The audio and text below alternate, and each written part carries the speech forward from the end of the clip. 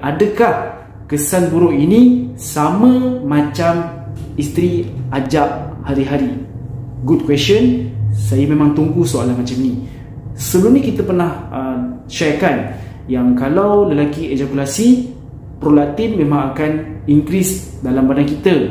So untuk video kali ini kita akan discusskan topik ni secara mendalam. Sebenarnya apabila lelaki ejakulasi tak kisahlah isteri tolong buatkan ke kita yang keluarkan sendiri ke ataupun daripada hubungan seks semua aktiviti ejakulasi memang akan meningkatkan prolaktin. So apa function prolaktin ni sebenarnya? Prolaktin ni sebenarnya ada dekat lelaki dan perempuan. Untuk perempuan ni kita cakap dia sebagai hormon susu. Kenapa? Sebab prolaktin ni sebagai hormon penting penghasilan susu badan bagi isteri. Kalau untuk lelaki ni apa pula? Nenek dia pun tak ada susu. So apa function dia?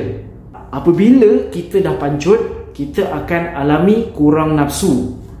Tempoh dia bergantung. Kadang-kadang cepat. Ada dalam masa 15 minit ke 1 jam kita akan ada nafsu balik.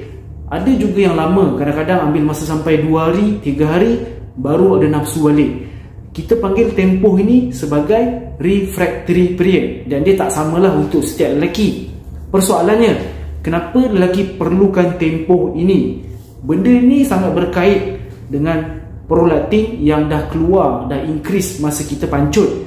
Dia sebagai satu negative feedback system supaya badan sempat nak replace balik air mani, sperma yang dah keluar tadi supaya kadar dia wajib sentiasa maintain.